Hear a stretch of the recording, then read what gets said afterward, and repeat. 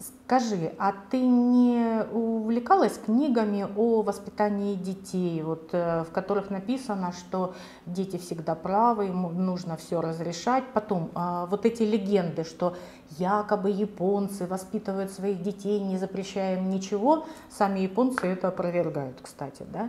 То есть, ну, такие легенды существуют, и, к сожалению, э, в 90-е на нас все это обрушилось, э, такой лавина информации, которой раньше у нас не было.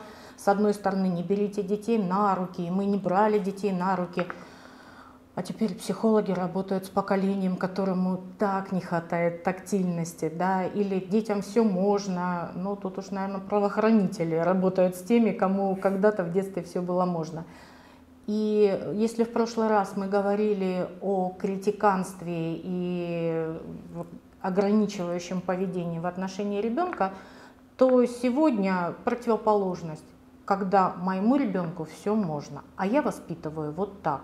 Ну, пресловутая я же мать, да, в ролике, когда mm-hmm. молодой человек налепляет э, женщине на лоб жвачку, говорит, а меня тоже так воспитывали.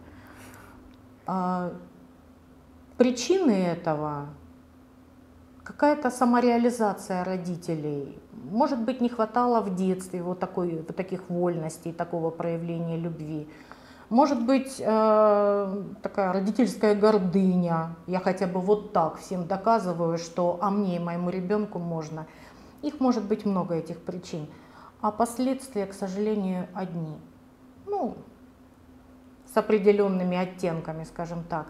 Это человек, который не сможет быть счастливым и социализированным в обществе. Он же привык, что ему все можно.